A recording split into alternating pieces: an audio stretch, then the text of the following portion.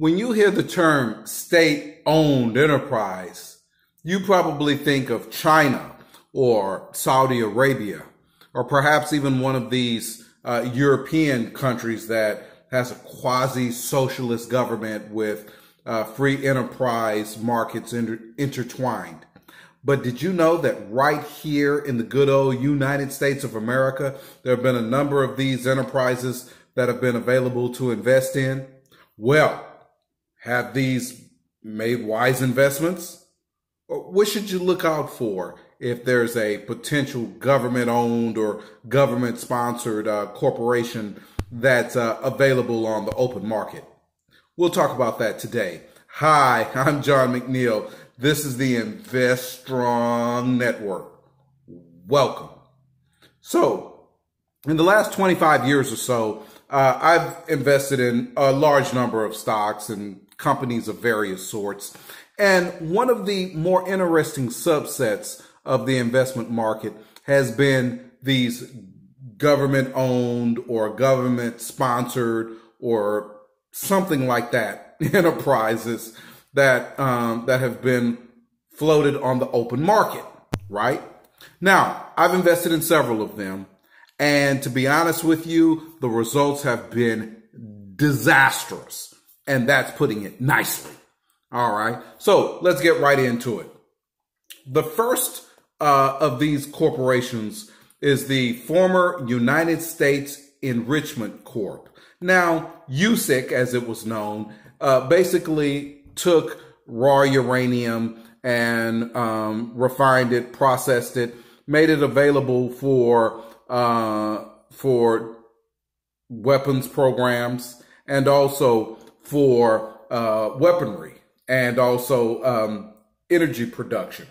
Now, this in the 1990s, it was decided that well, you know, with the Cold War over, we really didn't need USEC to develop so much uranium for nuclear weaponry. So uh, they began to uh, provide uh, enriched uranium for uh, for energy, um, electricity production to various nuclear power plants and whatnot. And they also had a little sub mission of taking Russian or former Soviet uh, uh, nuclear weaponry and enriched uranium, taking it making it available to be used in the uh, energy production markets in the United States. Okay, sounded pretty interesting. Now, I must admit, I didn't know that much about it, but it seemed like an, an interesting, you know, thing to invest in. I mean, you know, the peace dividend, as they were calling it at the time. So, uh, through a dividend reinvestment program, I I invested uh, 250 bucks in United States Enrichment Corp. Now, uh, in 2014, the company actually changed their name to Centrus Energy, which is the contemporary name. But whatever you elect to call it, uh, this uh, investment has been horrendous, right? Uh, uh, when it was first floated on the open market, uh, it had a share price that actually went as high as a couple hundred dollars, uh, but it is currently trading at uh, a mere six dollars and change. Uh, its future going forward is who knows. Uh, this, no, sir, this was a terrible investment, right? But as bad as the investment in USEC was, it pales in comparison to the absolute catastrophic disaster of investing in two other government sponsored uh, enterprises that floated on the open market on the stock exchange. And you know who they are uh, uh, Fannie Mae uh, and Freddie Mac. Now, actually, they still survive, right? And their stocks are still traded. Uh, Fannie Mae, ticker symbol FNMA,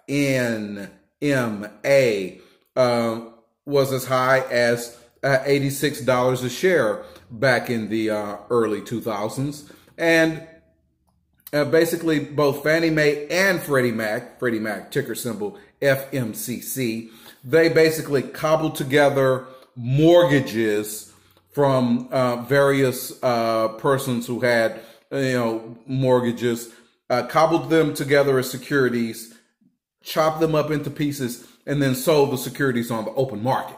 Right now, this was fine during the housing boom. They did great. But when the housing boom came to a crashing end in 2008 and 2009, both of these stocks went careening into government ownership, right? Where they exist even until this day. Uh, their stocks now, both of them in the penny stock range, if you even want to bother fooling with them. Uh, and, you know, that's where they're at, right? So, obviously, my personal experience in dealing with these state owned, state sponsored, government sponsored enterprises, whatever you want to call them, uh, has absolutely been terrible. And this is for several reasons. First of all, back during the days when these uh, enterprises were completely government controlled, uh, the management was basically made up of of politicians and and and and party hacks and things like that. These were not basically, these were not business people. They were not experts in the field or anything like that. Right. And that had a lot to do with their underperformance, especially if they were put in a market where they had to compete against uh, a, a, professionally trained private sector management.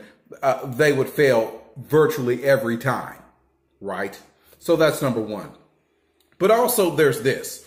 These agencies or or corporations they were government sponsored or government backed for a reason most of them were not profitable and they could never really be profitable over the long term and that's why the government stood there as a backup to take the hit right when uh, when eventually their business models failed and that's basically exactly what's happened right even until today Neither one of these three pay a dividend, so it's really not worth investing in them for income. And and their share prices are basically poo poo, right? No, avoid them at all costs. Now, there's also a larger lesson to be learned here. There are other government sponsored um, or government backed or state owned enterprises that could, and I, emph- I emphasize, could be publicly floated in the next few years. These would include the TVA, Tennessee Valley Authority, uh, one of the largest utilities in the country, based mostly in the South, uh, and um, but they have a quasi-governmental function in addition to just providing uh, electricity to people, and it's that quasi-governmental function which will which make it uncompetitive compared to other pure uh, profit driven utilities, right? Keep that in mind. Then also there's our national rail system, Amtrak, right? Now, uh, Amtrak has been well known for not being profitable. And to be honest with you, it probably could never be profitable in the current structure, right? And if it ever went to a complete free enterprise structure, uh, the prices would have to go up, service would have to be slashed. Uh, it's in question it's a big question of whether this thing could ever really exist as a uh, private company. But they're kicking it around in the halls of Congress and elsewhere. You know, keep that in mind. Then, of course, there's good old post office, the U.S. Postal Service, right?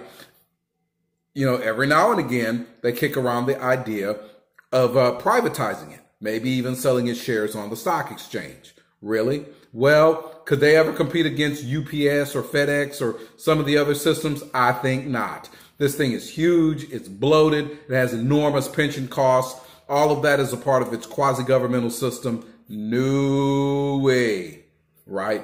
No way. And then, of course, there's uh, the old Ginnie Mae or Ginnie Mae, right? Which is basically a sibling of uh, Freddie Mac and Fannie Mae. They're also in the mortgage industry, designed to uh, facilitate home ownership, mostly for low income people. Uh, and it has the same potential threat as investing in uh, Fannie Mae or Freddie Mac. Don't do it, right? Don't do it.